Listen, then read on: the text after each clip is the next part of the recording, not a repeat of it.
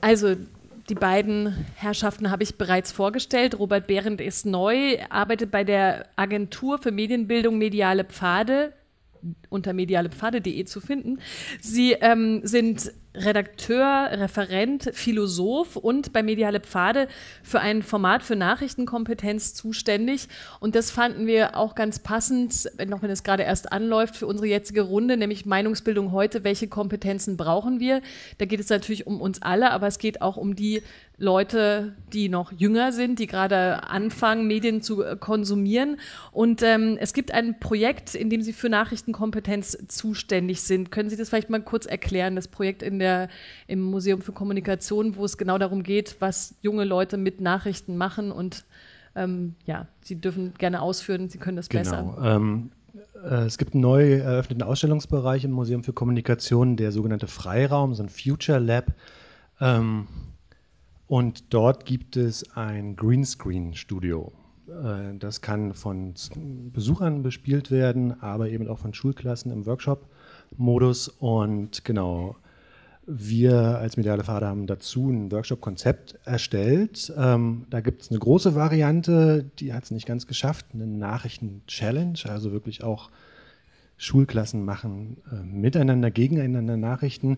Äh, das hätte zeitlich ein bisschen mehr Zeit gekostet, äh, deswegen ist es dann im Grunde genommen die kleine Variante geworden. Schulklassen erstellen eine Nachrichtensendung. Also da geht es um Nachrichten selber machen und ähm, da, da tatsächlich die Aufteilung in die verschiedenen Arbeitsgruppen, in Kleingruppen wird gearbeitet, ein Expertengespräch wird aufgebaut, ähm, es wird ein Beitrag äh, dazu geführt, es wird eine Umfrage auf der Straße gemacht zu einem spezifischen Thema. Mhm. Genau. Und äh, da sind wir jetzt kurz vor den Playtests. Insoweit äh, fehlt da noch so ein bisschen die Praxis, äh, der Bericht aus der Praxis, aber es gibt andere Projekte, aus denen man berichten kann. Wie verstehen junge Leute dieses Nachrichtengeschäft? Also vorhin äh, haben wir schon gehört, Tagesschau kennt keiner mehr. Also diese ganzen alten Säulen der Nachrichtenberichterstattung sind natürlich nicht mehr wichtig in der jüngeren Generation. Die wiederum speisen ihr Leben oder ihren Info ihre Informationen aus Nachrichten, die natürlich also im Wortsinne ständig bei ihnen ankommen. Nämlich jede Chatnachricht ist eine Nachricht. Das sind alles Nachrichten, die in Facebook-Timelines stattfinden. Was bedeuten denn Nachrichten für das jüngere Medienpublikum? Also ich will mich genau, ja, genau, weiß ich bestimmt. genau. genau aus der Praxis. Äh, ich werde mich hüten, ähm, mit äh, zwei Wissenschaftlerinnen auf der Bühne hier ähm, zu verallgemeinern. ähm, äh, genau, weil das, was ich an Erfahrungen mache, sind singuläre Erfahrungen, keine Umfragen und so weiter und so fort. Ähm, und äh, was ich aber mal so, weil der, das, der Begriff gerade auftaucht, äh, auf jeden Fall herausheben will, Sie wissen nichts vom Nachrichtengeschäft. So, das Geschäft ist Ihnen als Geschäft, glaube ich, gar nicht klar. Interessanter Punkt, könnte mhm. man durchaus mal drauf eingehen, äh, wurde auch vorhin, als noch Nachrichtenmacherinnen hier vorne saßen, auch nur bedingt drauf eingegangen, ähm, was es eben mit Mitbewerberinnen und mit Konkurrenz und so weiter auf sich hat. Ähm, Ansonsten ist natürlich, das hat die Studie gezeigt, äh, Herr Schmidt hat es äh, vorgezeigt, glaube ich, 16 Prozent der Jugendlichen nutzen ihre so Social-Media-Kanäle. Genau. Ich glaube, das war... Also 16 Prozent der 18- bis 24-Jährigen, die sagen, die Hauptnachrichtenquelle sind soziale Medien. Also das ist der Weg, über den sie an Nachrichten kommen. Genau. Da sind noch die unter 18 ausgelassen. Ähm, aber wir können davon ausgehen, dass sofern sie ähm, in den sozialen Netzwerken unterwegs sind, das natürlich ähnlich machen.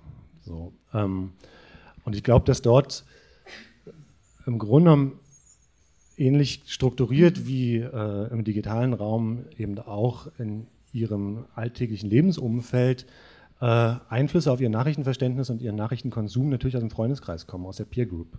Ähm, dass dort Sachen weitergereicht werden, dass äh, auf dem Schulhof oder in den Pausen eben gesagt wird, hast du schon gehört und hast du das gesehen und dann zeigt man sich eben auch gegenseitig auf den Handys neueste Nachrichten.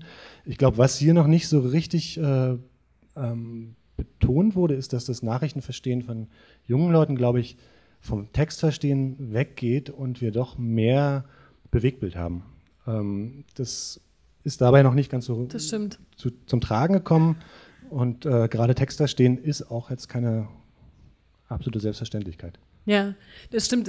Das hat mir auch gerade noch im Nachgespräch von, dem, von der ersten Runde, dass wir natürlich auf Bilder und, und Videos in dem Sinne nicht mehr eingegangen sind in der Nachrichtenmacherrunde. Sie dafür die Fernsehnachrichten, die dann ja übertragbar sind, glaube ich, auch von dem, was sie bewirken können, auf äh, Videos im Netz an dieser Stelle.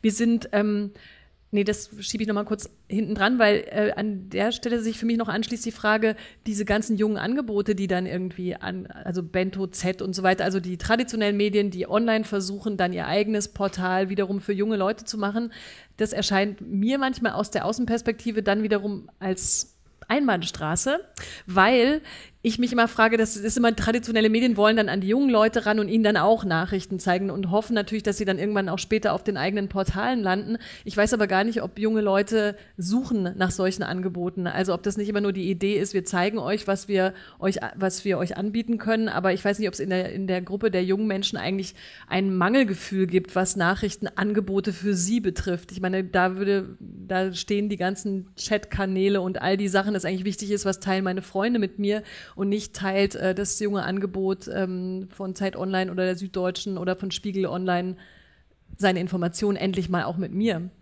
Also ich glaube, ähm, das ist so ein Spannungsverhältnis zwischen der Erfahrung des Überangebotes, was sie tagtäglich haben, und das, da sind sie als junge Leute nicht alleine, damit leben wir auch, mhm. ähm, und dann eben äh, tatsächlich Dingen, die sie, die sie verstehen können und interessant finden. Und äh, beides zusammen ist eben so schwierig äh, umzusetzen. Interessant finden bedeutet nicht gleichzeitig auch verständlich machen können.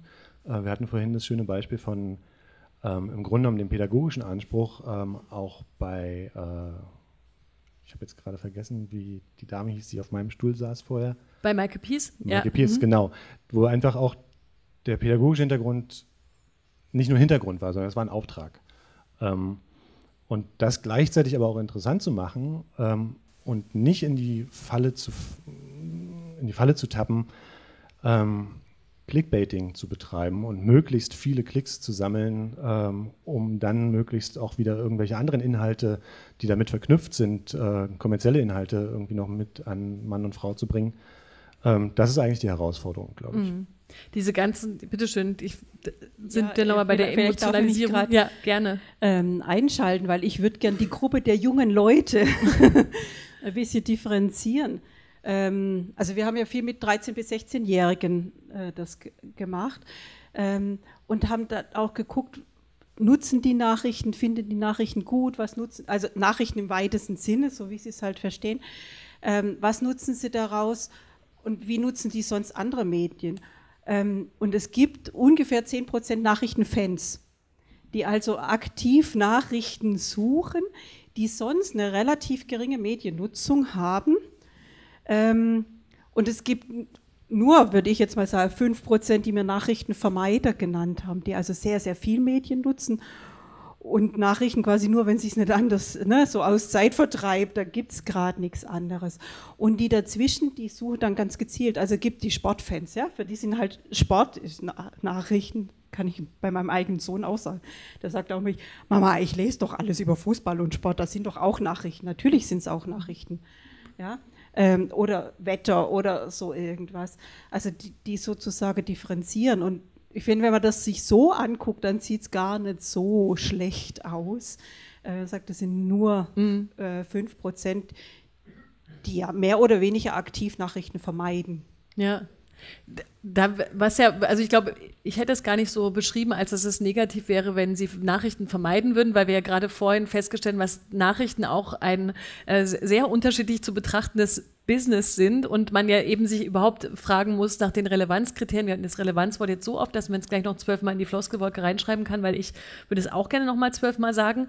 Aber ähm, diese Frage nach der Relevanz, hat sie die eigentlich vorhin auch beschäftigt? Die kann man für junge Leute vielleicht nochmal ein bisschen anders fragen, weil es da wirklich sehr, sehr nah ist am Lebensumfeld, glaube ich, was dann relevant ist in erster Linie. Wäre meine Laieneinschätzung, wer stimmt es gar nicht ganz, dann können Sie mich gerne gleich korrigieren. Aber diese Frage, die wir vorhin hatten, was ist relevant?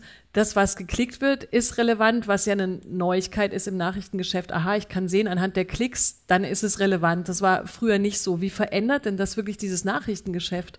Oder wie würden Sie vor allem hinter diesen Relevanzbegriff gucken? Ich glaube, dass also die, die journalistischen Nachrichtenfaktoren, wie es in der Kommunikationswissenschaft äh, heißt, Und auch die Klickzahlen, das sind ja ähm, Relevanzindikatoren von Seiten der Nachrichtenmacher, also der Journalistinnen und Journalisten. Ja, ähm, der Uwe Hasebrink, Direktor bei uns am Institut, hat die berühmte Hasebringsche Informationspyramide mal entwickelt. Also er hat einen Vorschlag gemacht, wie man Informationsbedürfnisse aus Nutzersicht äh, klassifizieren kann und äh, hat, das finde ich sehr plausibel, vier so Grundtypen unterschieden, nämlich das, Alge, das Informationsbedürfnis ganz generell umgerichtet. Man will wissen, was in der Welt so passiert. Und das würde die Tagesschau zum Beispiel bedienen oder ähm, auf eine Art vielleicht auch dann irgendwie ein, ein Jugendangebot oder äh, irgendwie die, äh, die äh, Logo oder so. Äh, und dann gibt es sozusagen, da verengt sich die Pyramide nach oben, dann gibt es themenspezifisches Interesse. Ne? Ich bin Sportfan, sozusagen, ich will wissen, wie mein Verein gespielt hat oder was bei der EM gerade los ist. Es gibt die gruppenbezogenen Informationsbedürfnisse. Ich will wissen, was in meinen relevanten Bezugsgruppen gerade diskutiert wird. Es kann was Politisches sein, das kann aber auch was aus dem Entertainment-Bereich sein. Oder ist Kevin noch mit Tamara aus der 8b zusammen? Kann auch genauso relevant sein für mich.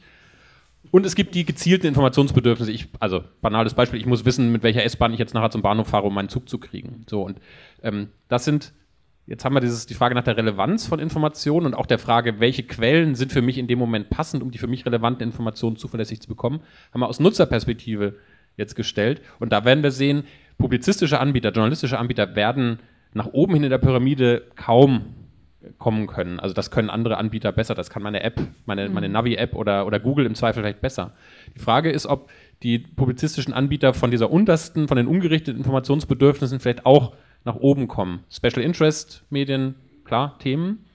Äh, und die Frage jetzt, kommen äh, publizistische Medien auch in die Richtung, wo sie vielleicht äh, für bestimmte Szenen oder gruppenrelevante Inhalte Nachrichten anbieten können? Dann sind wir bei so Dingen, äh, wie sie vielleicht Bento oder auch Z anbieten, die versuchen, Nachrichten als Gesprächsstoff irgendwie aufzubereiten. Also Sachen, die dann gar nicht Clickbaiting, aber die geteilt werden, die kommentiert werden, die ich mit meinen Freunden teile, weil das irgendwie ein interessantes Thema ist. Also das ist ein, ja, das, jetzt müsste Uwe Hasebrink hier sitzen, der könnte, der würde jetzt noch mehr reden dazu. Aber das finde ich ähm, noch eine interessante Perspektive, die Relevanz eben dann nicht nur aus Sicht der Macherinnen und Macher und deren Vermutungen und Unterstellungen, was ist relevant zu sehen, sondern aus Sicht der, des Publikums. Klingt übrigens wie so eine Helge Schneider-Erfindung, diese Pyramide. Ja, so aber ich Pyramide, ja, genau. ja. ja, genau. Aber ist bestimmt sehr inhaltsvoll.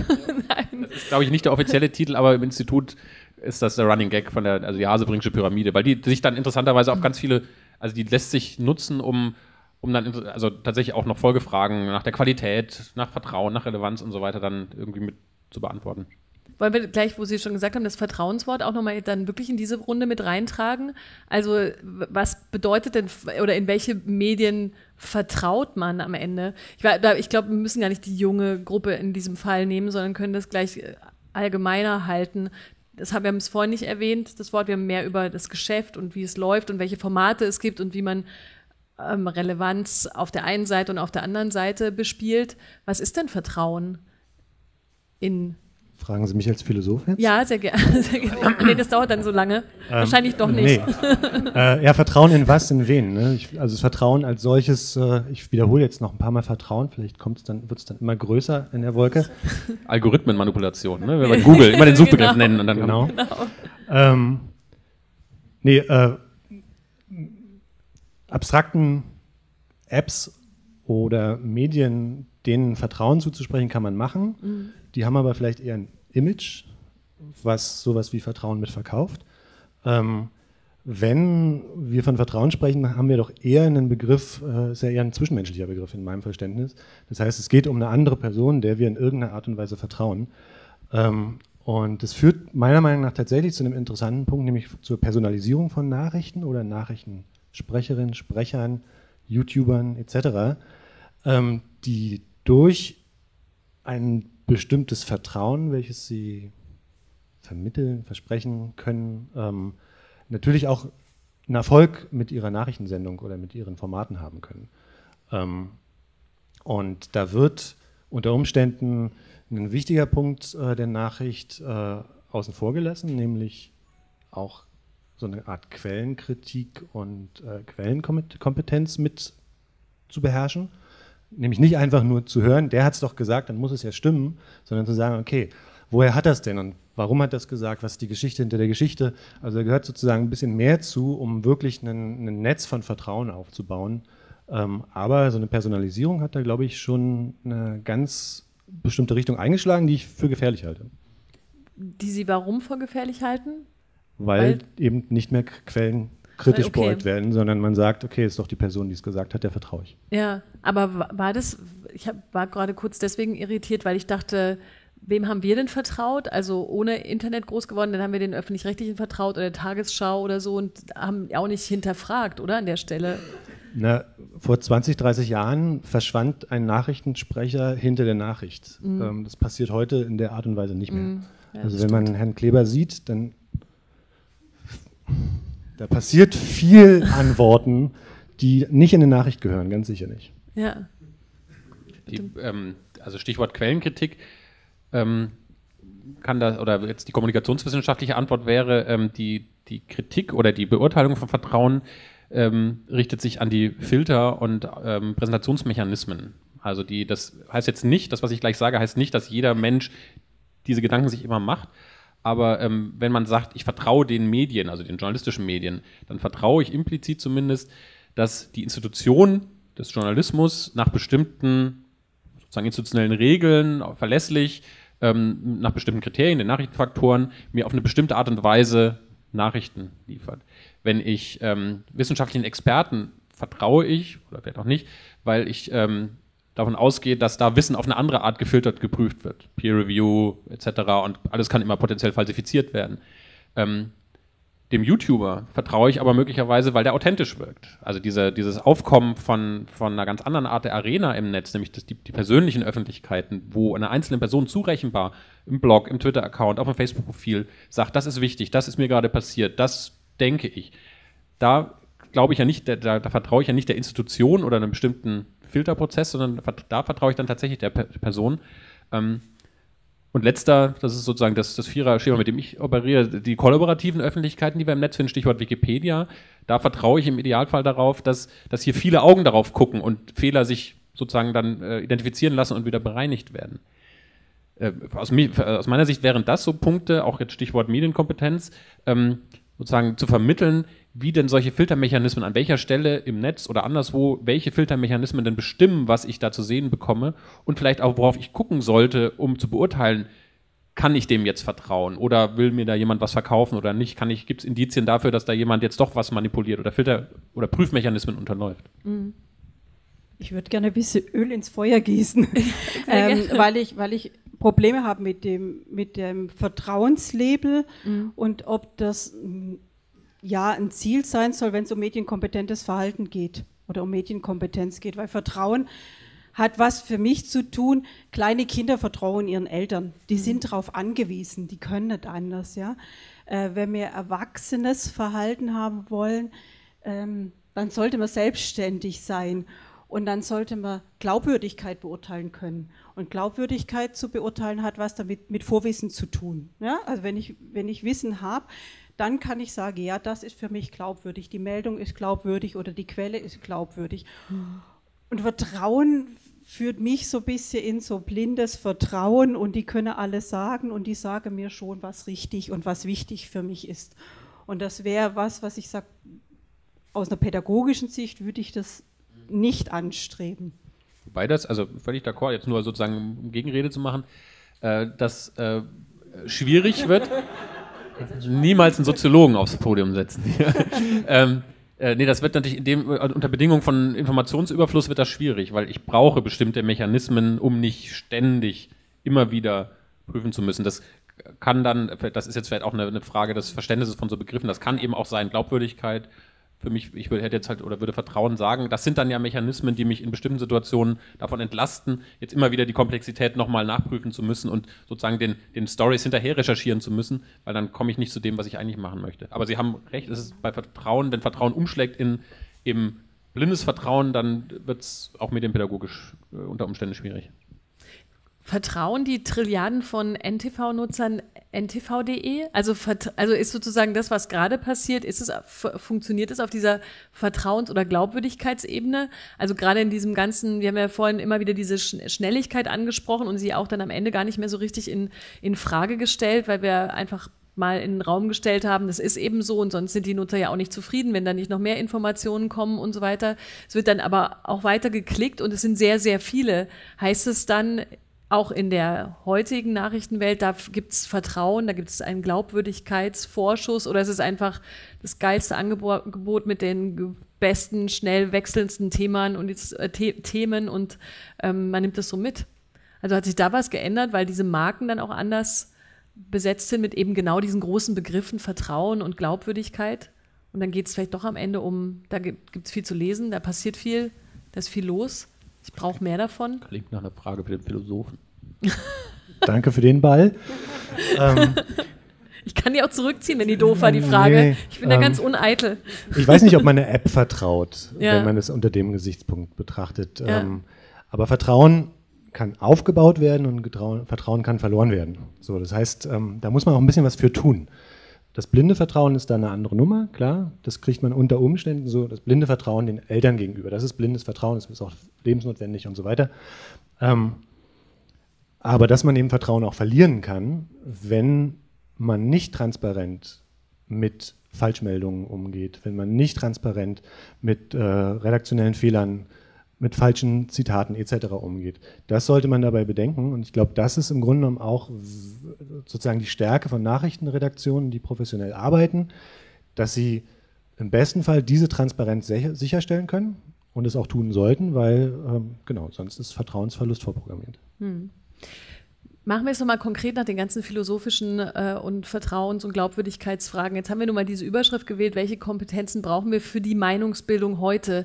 Also das ist ja, ist es nur, ist es eine technische Kompetenz rauszufinden, wo sind meine Anbieter, da möchte ich gucken, da möchte ich nicht gucken, das sind die Leute, denen ich, oder Vertrauen sage ich nicht schon wieder, aber die ich ganz gerne lese und da glaube ich, das stimmt meistens alles, sie sind transparent.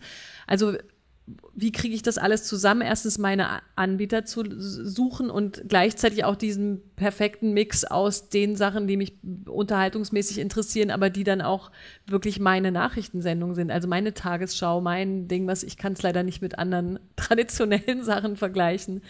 Welche Kompetenzen fehlen denn da überhaupt? Sie haben vorhin gesagt, es ist gar nicht alles so schlimm, sind schon alle noch interessiert und Nachrichten werden konsumiert.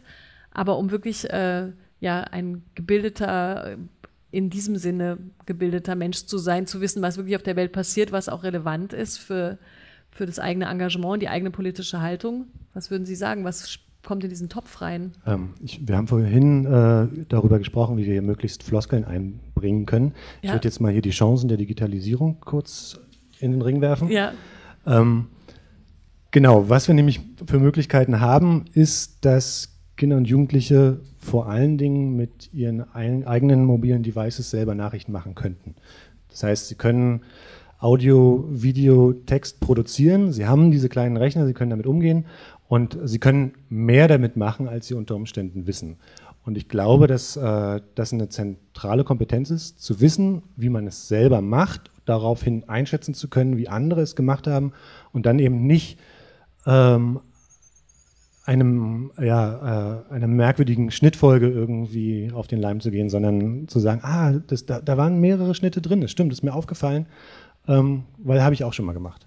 So, das mhm. ist, glaube ich, eine ganz, also dieses selber auch mal gemacht haben, äh, hilft ganz stark, um dafür zu sensibilisieren, äh, wie wir das Nachrichtengeschehen selber dann aufnehmen und entsprechend rezipieren zu können. Weitere? Ja, ich, Sie haben gerade so geguckt. Also ich denke, das ist ganz wichtig für, für Prozesse zu sensibilisieren. Wie wird es denn gemacht? Ähm, und vielleicht war das, ich sage jetzt mal früher so, da waren die Medien, die waren da oben und niemand wusste so richtig, wie, wie das geht und die waren alle so toll und wir hätten es gern auch äh, selber so, so toll gesagt. Und jetzt wird es sozusagen auf, auf den Boden runtergeholt und wird, wird gezeigt, dass es geht und man kann die Prozesse bewusst machen. Und in dem Moment, wo Prozesse bewusst werden, dann hat es wieder was mit Wissen zu tun und ich kann es hinterfragen. Dann kann ich auch, ich sage es jetzt mal, einen Vertrauensvorschuss oder sowas geben. Ähm, erst recht, wenn ich bei Nachrichten an sowas denke, ich weiß nicht leider, wer es gesagt hat, aber es gibt die Aussage, ähm, Nachrichten dienen eigentlich nur zur Beruhigung, dass die Welt sich weiterdreht, wie sie bisher sich gedreht hat. Mhm. Und wenn das so ist, dann komme ich im Alltag ganz lang gut damit zurecht. Und erst wenn irgendwas wirklich, sind wir bei relevant und relevant heißt, hat ja, sagt er, es hat was mit meinem Alltag zu tun, es hat was mit meinen Zielen zu tun, da behindert was oder das ist was für meine Ziele förderlich. Wenn es dann wird, dann gehe ich von automatischen, unbewussten Prozessen weg und mache es mir nochmal bewusst und hinterfrage das und kann es nachrecherchieren. Und das ist eine Möglichkeit, die habe ich ja jetzt. Ne? Ich kann verschiedene Quellen angucken, ich kann gucken, bringen die anderen das auch. Äh, wie sieht es denn aus? in Zeiten, ich meine, ich bin groß geworden mit drei Fernsehprogrammen. Ja, da gab es nicht viel mehr. Das war, ja, das Internet gab es auch. das war aber ja. natürlich auch dann einfacher, musste sich nicht mit all Ja, aber es war schwieriger zu hinterfragen. Ja, ja. ja. Wobei die, also ich glaube, so die, die Kernkompetenzen, die aus meiner Sicht auch heute noch notwendig sind, die stammen, glaube ich, auch schon auch aus hm. der Zeit. Also ähm, die äh, Informationen zu hinterfragen, die man, die man irgendwie sieht, äh, sozusagen redak also redaktionellen Inhalt von Werbung unterscheiden zu können. Ähm, vielleicht auch diese Mechanismen zu kennen, wie kommen denn, wie kommen denn Nachrichten zustande. Das sind alles Kompetenzen, die auch das auch übrigens das, das selber aktiv machen, also Stichwort aktive Medienarbeit, das, ich weiß nicht, Sie sind die Experten in Medienpädagogik, das kommt aus den 70ern, glaube ich. Ne? Ähm, es hat sich halt das technische oder das Medienumfeld geändert, unter denen wir diese Kompetenzen nun anwenden müssen. Dadurch verschieben sich die Kompetenzen möglicherweise oder müssen anders aktualisiert werden. Aber die, ähm, die, ich glaube, diese Kernfertigkeiten, die man als mündige Bürgerin braucht oder mündiger Bürger, ähm, um mit Medien umzugehen, äh, die sind nach wie vor, also da wüsste ich jetzt gerade nicht, was, was sozusagen wirklich ganz neu dazugekommen ist. Allerhöchstens vielleicht diese, tatsächlich diese, diese technische Komponente, also dass man über das technische Zustandekommen, Stichwort Filter, algorithmisches Filtern und so weiter, ähm, das, also diese die technischen Bedingungen, die mit reinspielen, die waren vielleicht unter Fernsehbedingungen noch nicht so prägend, wie es jetzt Stichwort Google-Algorithmus oder Facebook Newsfeed-Algorithmus sind. Aber die Emotionalisierung die kommt doch neu dazu, oder? Also, dass du, dass dieses ganze, dieses Dings wird dein Leben verändern, das, und also die Shit, Shitstorms und all, ich wusste nur gerade den Plural nicht, egal, auf jeden Fall. Also, all die, all die Empörung, all diese ganzen Sachen, die natürlich dann, die kommen ja auch aus, die sind nach, die waren Nachrichten und werden zu Riesenexplosionen und das ist doch schon was, was dazugekommen ist und was man auch lernen muss zu hinterfragen und zu durchschauen. Das, was Sie angesprochen haben, ist immer, wie die Nachricht gemacht ist, wie man nach Quellen fragen kann, nach Vergleichsmöglichkeiten, aber das, was auf dieser emotionalisierten Ebene passiert, die man braucht, um am Thema dran zu bleiben, aber die eben natürlich einen auch womöglich äh, sehr auf die falsche Fährte führen kann. Das ist doch nochmal noch ein anderer Auftrag auch, oder? Ja, also die, die Kompetenz wäre dann ja zum einen, sagen, das abschichten zu können, also zu schauen zu können, jetzt meinetwegen, ich lese einen vielleicht noch halbwegs sachlichen Beitrag und kriegt dann die Reaktionen mit und da dann abschichten zu können, was ist jetzt wirklich, was ist Hetze und was ist, wo, wo steckt vielleicht noch ja. konstruktive Meinungsäußerung äh, drin oder, oder, wo steckt ein Argument.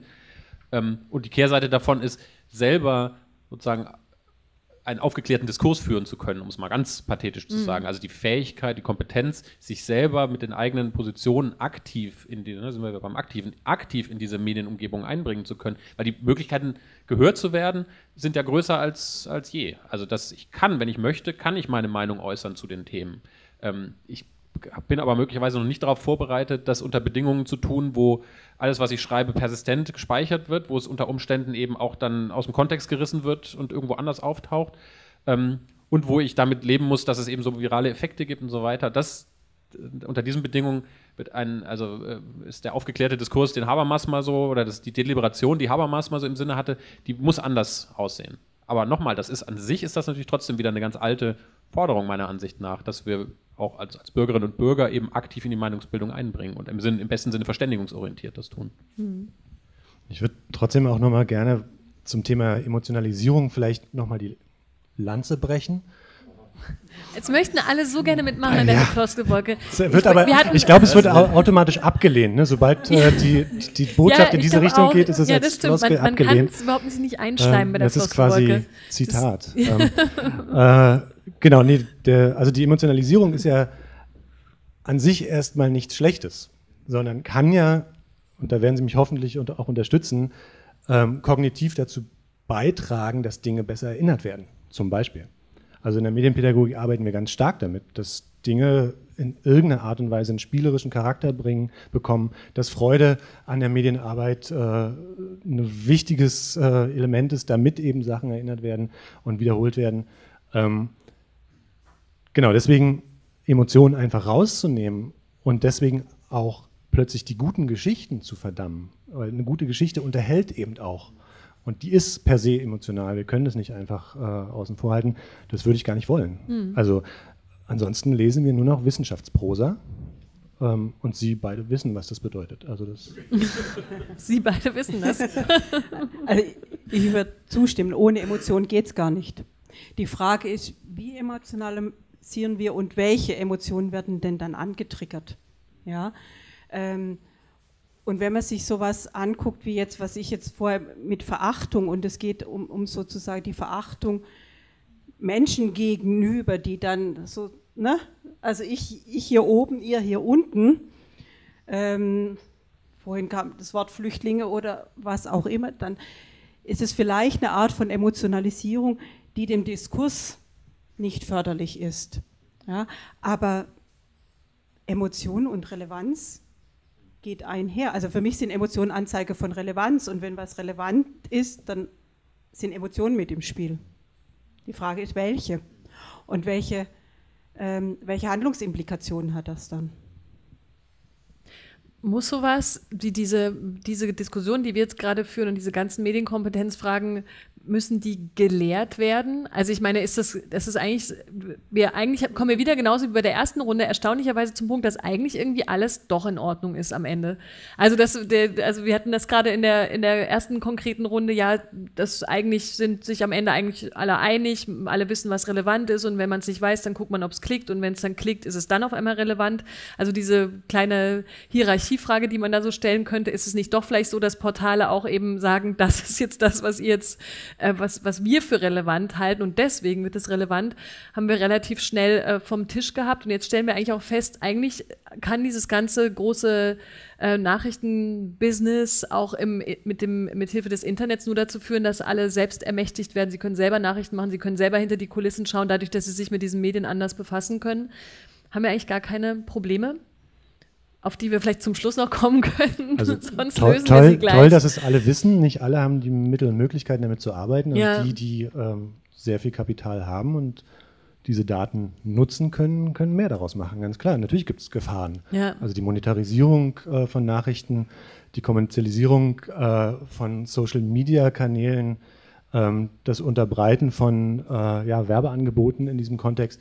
Klar, es ist eine Gefahr, weil es einfach äh, Sachen verschwimmen lässt, die besser eben nicht verschwimmen sollten. Die Nachricht von der Werbung trennen zu können, finde ich schon weiterhin eine Sache, die beigebracht werden muss. Und die dann nämlich sonst schon eine Auswirkung auch auf die Meinungsbildung eben hat. Genau, weil plötzlich, ähm, also ich habe lange Zeit ein großes Beteiligungsprojekt hier in Berlin koordiniert, ähm, habe immer überlegt, ob nicht die eigentliche Zielgruppe bei Primark am Alex sitzt. Ähm, und dort war richtig was los. Und dann sah ich dort einen jungen Mann, der hat seine Fußballtricks vor Primark vorgeführt, statt irgendwie in so einem politisierten jugendlichen Beteiligungskontext. Ähm, da sehe ich eben schon, klar, die, mhm. da ist die Zielgruppe. Ähm, und ich will nicht mit Primark, Adidas, Apple konkurrieren müssen. Mhm. Aber was wir unter Umständen haben, sind Inhalte. Ne, das mhm. darf man, glaube ich, nicht vergessen. Vielleicht kann ich trotzdem noch einen Punkt von vorhin mit reinwerfen, den auch äh, nochmal Udo Stiel von der Pause fand ich ganz gut angesprochen hat. Noch eine Frage zu dieser Schnelligkeitssache, die wir vorhin auch schon mal hier auf dem Tisch hatten in die ja dann wiederum auch die nächste Generation reinwächst. In dieses muss alles schnell gehen, wir brauchen das alles auf einmal und wenn da nichts steht, dann sind alle unruhig, wir müssen dann neue Nachrichten hinterher schieben. Und dann meinte Udo zu Recht, ähm, warum ist es denn eigentlich nicht so, dass man, dass man sagt, wenn da, wenn nichts passiert, ist da halt nichts, dann geh doch grillen oder mach doch was anderes in der Zeit. Also warum soll man da nicht wirklich äh, also wir, haben, wir nehmen das gerade einfach, finde ich, alles so sehr so hin, dass es eben so ist und dass die Leute dann eben lernen müssen, damit umzugehen und manche tun es auch, manche nicht so und manche sind doch ziemlich betrübt am Ende eines Tages, an dem sie die ganze Zeit vollgeblastet wurden mit schlimmen Nachrichten. Wieso kommen wir nicht zu dem Punkt zu sagen, es könnte auch noch eine weitere Ebene geben, in der man wieder den Gang runterschaltet und die Welt, in der jetzt gerade nicht so viel los ist, auch als eine abbildet, in der gerade nicht so viel los ist, weil immer was los ist? Und weil das einfach ab jetzt immer schneller geht. Ist auch wieder was für den Philosophen, ne? Ich schrecklich heute, tut mir leid, aber ich, Frau, Frau, uns, ich, ich Frau uns hilft. Ähm, wenn das so ist, dass mir jemand anders sagt, es ist gerade nicht so viel los, dann ist ja wieder, dass ich das, die Verantwortung jemand anderes gebe. Ne? Mhm. Ich kann ja auch NTV oder was auch immer gucke und selbst mich entscheide, es ist gerade nicht so viel los oder das ist was. Und das ist das, was ich vorher sagte. Ne? Gut, ich weiß noch, 20 Uhr Tagesschau eingeschaltet und man weiß nachher nichts mehr, außer vielleicht das Wetter oder vielleicht auch nicht. Aber dann habe ich auch entschieden, es war gerade nichts los, was mich betrifft. Jetzt will ich nochmal an die Zeit gekoppelt sein, weil vielleicht der Alltag sich auch geändert hat. Dann gucke ich bei NTV oder Spiegel Online oder Welt oder Zeit oder wo auch immer und entscheide für mich, es ist gerade nichts los.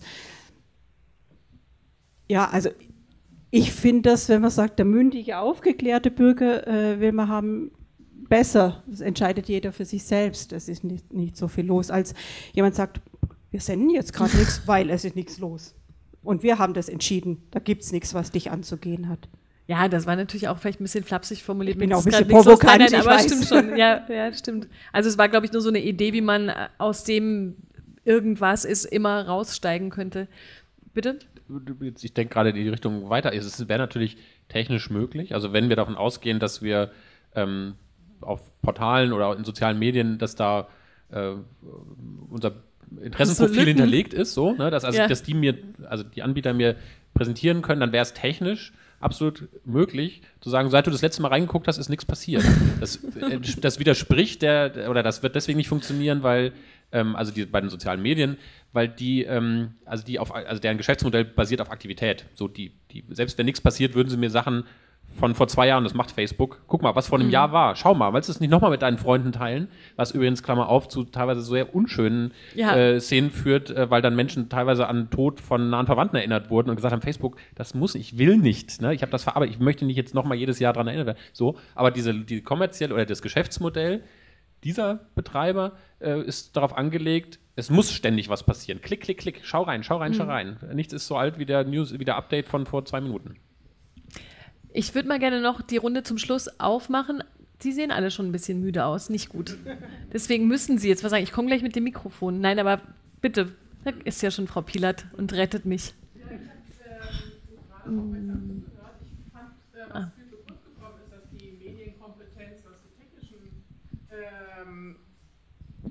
was die Medien, also was die technischen Fähigkeiten belangt, bei den jungen Leuten ja viel, viel ausgeprägter ist. Also das ist so, ähm, das, das kommt, äh, das kam jetzt gerade gar nicht vor. Ähm, äh, dagegen ist sozusagen diese Grundkompetenz zu entscheiden, das ist äh, eine verifizierte Nachricht, dem kann ich vertrauen, ähm, glaube ich, ähm, durchaus schwieriger, weil eben das Angebot viel, viel größer ist. Und ich glaube, dass beispielsweise das Vertrauen in YouTube-Stars ähm, inzwischen halt ähm, äh, also mindestens genauso wichtig ist, wenn nicht viel wichtiger, als wenn ähm, äh, die, die Tagesschau oder auch irgendein Online-Medium äh, eine wichtige Nachricht verbreitet.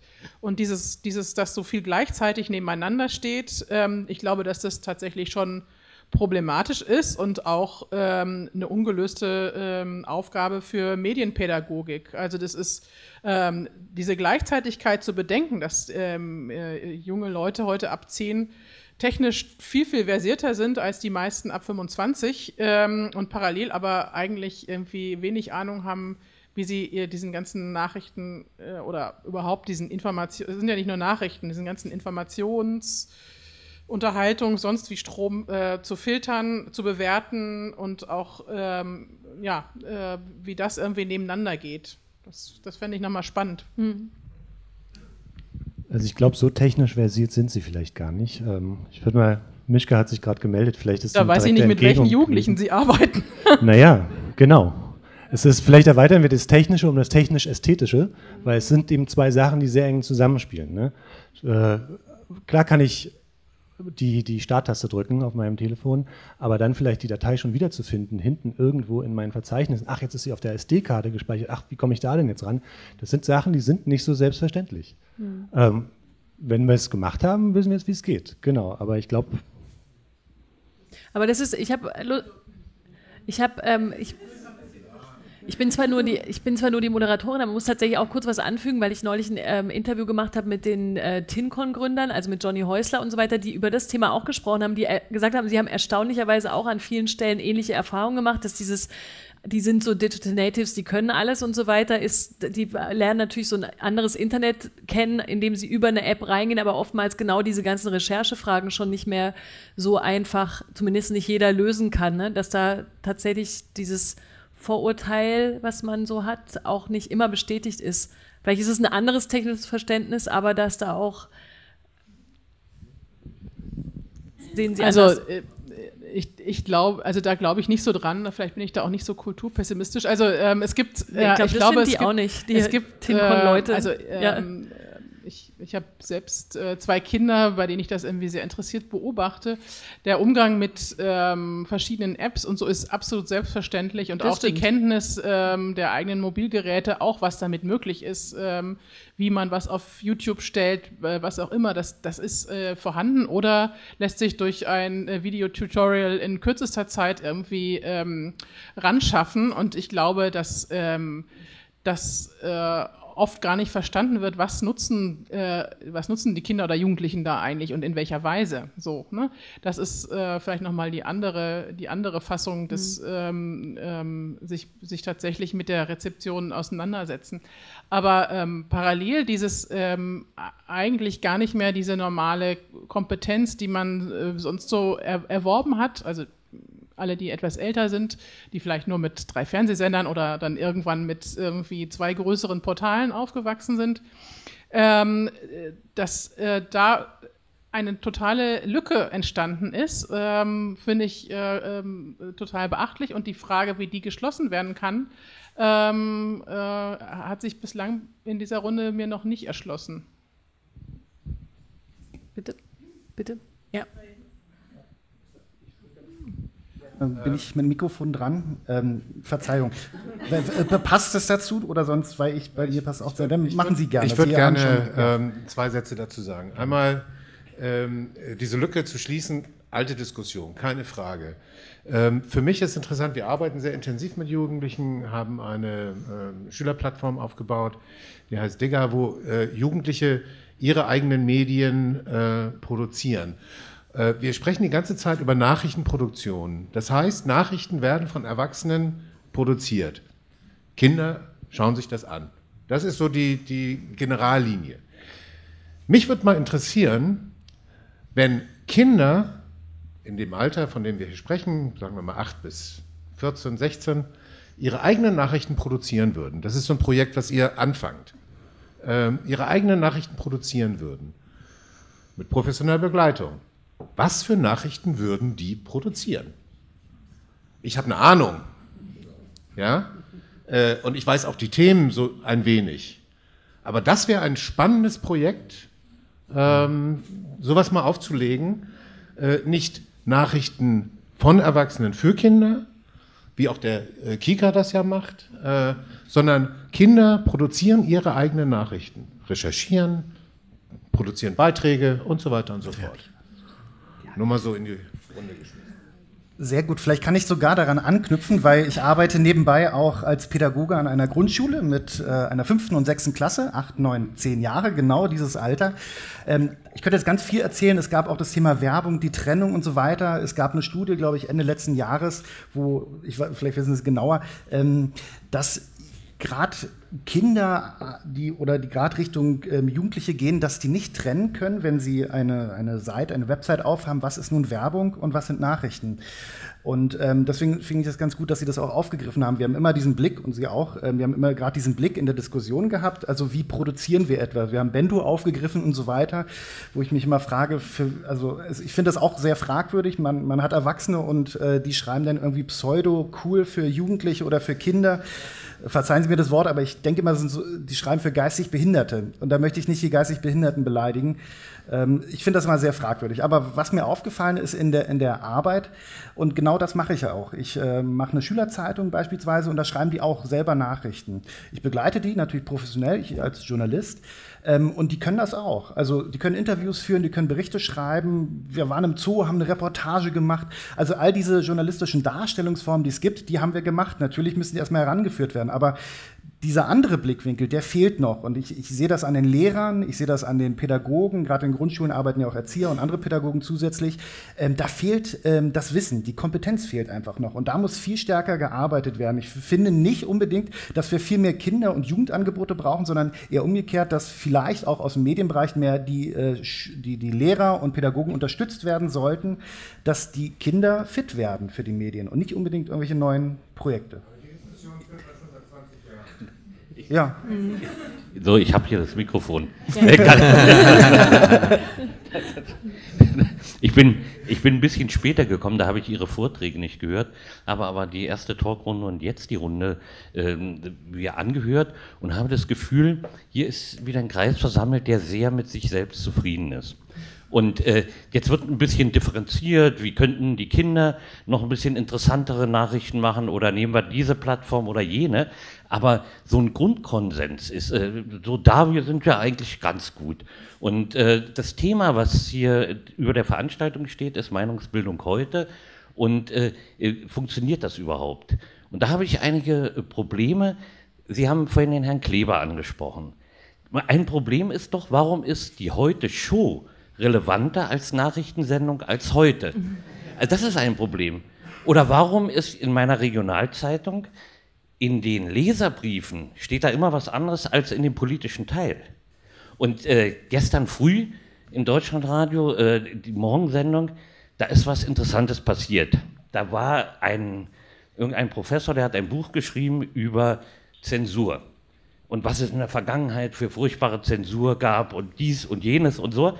Und die Moderatorin war ganz begeistert, also äh, was da überall äh, finster in, in, in allen möglichen Regimen. Und dann fragte sie, ja und gibt es denn heute auch noch Zensur?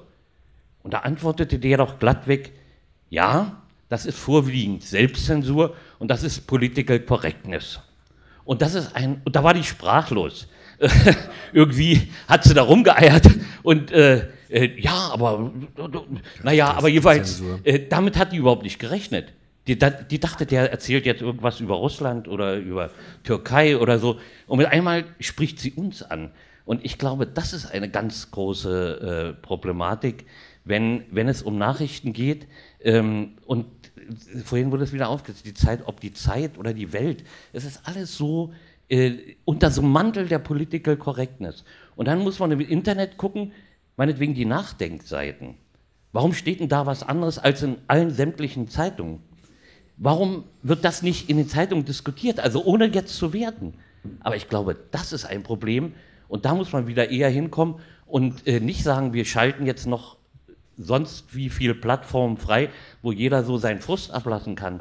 Aber dass es ein stärkere ähm, Aufgreifen auch von, von äh, Dingen gibt, die nicht jetzt nun gerade äh, angesagt sind, wo man sogar sagt, davon will ich mich distanzieren. Aber dass man das in einen Diskurs wieder hineinbringt, das finde ich wichtig. Dankeschön. Ich lasse die Sachen jetzt einfach gerade deshalb so stehen, weil wir uns trotz der Anmerkungen immer nicht mehr auf die detaillierten Diskussionen einlassen können, wegen der Zeit. Aber hier vorne war noch der Herr im blauen Hemd. Achso, Entschuldigung, ich wusste gar nicht. Bitte, bitte gerne. Also ich wollte gerne mal noch kurz was zur Technikkompetenz sagen. Mein Eindruck ist, dass die Technikkompetenz mit der Kommerzialisierung äh, der Tools und des Netzes eher abgenommen hat. Also in den Anfangszeiten des Internet waren wir alle noch sehr technikkompetent, wir waren sogenannte Immigrants. Ja? Und, aber je mehr sozusagen alles dann vorgekaut und fertig und nur noch mit schönen Oberflächen und ich muss nur noch hier klicken und nicht weiter und gerade Apps. Manche wissen vielleicht, also in Deutschland geht es vielleicht noch, aber in anderen Ländern wissen äh, App-Nutzer schon gar nicht mehr, dass sich dahinter das Internet verbirgt. Mhm. Die haben nämlich nie eine URL, also nie so eine Zeile gesehen, wo sie eine Adresse eingegeben haben. Die können sich gar nicht mehr vorstellen, dass dahinter, was dahinter für eine Welt liegt. Das ist ja auch genau die Kritik an dieser Facebook-Internetwelt, ne? so die sich da in ähm, sogenannten Drittweltländern gerade ausbreitet, weil die da auch das Netz bauen. Ähm, und ich glaube, und auch wenn ich jetzt in, in einer Schule in einen Computerraum reinkomme, wo die Rechner schon alle fertig eingerichtet sind und ich setze mich nur alles schon installiert und ich setze mich noch ran und mache Klick, Klick und lerne dann Office, also Microsoft-Produkt, ein Closed-Source-Produkt. Da liegt, glaube ich, das Problem aus meiner Sicht. Früher haben wir angefangen, da fing es erstmal an, so jetzt bau dir erstmal einen Rechner zusammen. Mhm. Ja, also da war nicht mit, ich setze mich hier hin und alles läuft. Also das ist, also mit diesem vorgefertigten, mundgerecht und auch vor allem kommerzialisierten Netz, glaube ich, hat man eher das Problem, dass man die Kinder oder die Jugendlichen eben auch in so eine Konsumentenhaltung bringt. Mhm. Und dann ist es total wichtig, solche Angebote zu haben, wo man eben wieder ins Selbermachen kommt. Also ich mache auch so ein Projekt, ähm, ich will das jetzt hier nicht pitchen, aber äh, also das ist, äh, ich habe es ja nicht genannt. aber ähm, so, das ist, äh, äh, das, das, da, da kommen die echten Aha-Effekte und da kommt dann das wirkliche Verständnis, so glaube ich, erst wieder durch Selbermachen. Da bin ich total ja. bei Robert. Aber das finde ich auch gut, dass Sie so anmerken, weil das auch vorhin dann, das sollte nicht äh, die Anmerkung sollte nicht nach Kulturpessimismus klingen, die können das ja alle doch nicht, sondern wirklich so, das ist ein anderes Verständnis teilweise von dem Internet und das glaube ich schon auch, auch aus meiner Erfahrung, dass das, was dahinter liegt, hinter all den Apps oftmals sich dann doch verborgen bleibt und dann nicht jeder automatisch alles selber kann und äh, sich selber, also versteht, welche Möglichkeiten darin liegen. Das glaube ich schon auch, das kann man nicht, glaube ich, für alle allgemeingültig sagen, aber das soll nicht pessimistisch, sondern eher so klingen, das darf man nicht vergessen. Ähm, noch wer? Möchten Sie vielleicht das Abschlusswort sagen? Also vielleicht könnten Sie dazu aufstehen würd, und etwas ich romantisch Ich würde auf jeden Fall gerne noch mal eine ja, Sache sagen. Wenn ich schon ja. auf dem Podium sitze, dann äh, möchte ich es auch nutzen. Ja, bitte. Ähm, ich bin ganz und gar nicht der Meinung, dass wir uns hier alle einig sind. Und ich finde auch die Rede über die Political Correctness gefährlich. Ähm, ich will es hier nochmal anmerken. Ich habe eine andere Meinung dazu. Und meine Meinung ist, dass es einen bewussten und reflektierten Umgang mit Sprache braucht und bestimmte Sachen müssen benannt werden. Und Political Correctness ist ein Kampfbegriff geworden, das müssen wir uns alle klar machen. Den kann man nicht einfach so in den Raum stellen. Dankeschön.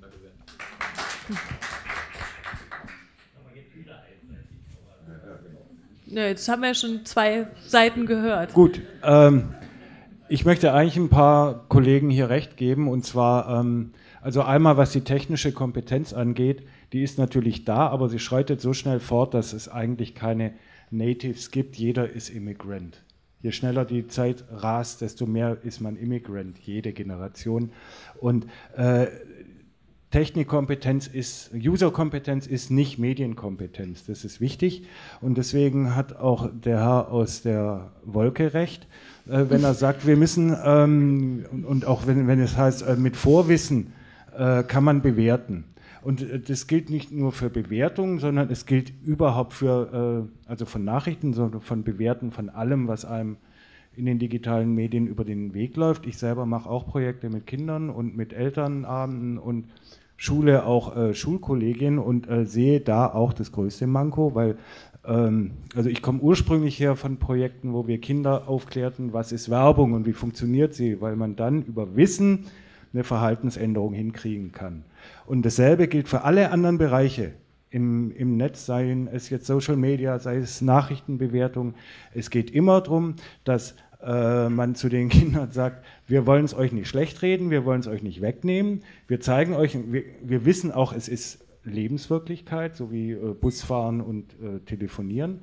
Aber es, wir zeigen euch jetzt ein paar Sachen, die sind gefährlich sei es, weil sie für euch selber gefährlich sind, sei es, weil es gesellschaftlich gefährlich ist, weil es politisch äh, fragwürdig ist oder sonst was.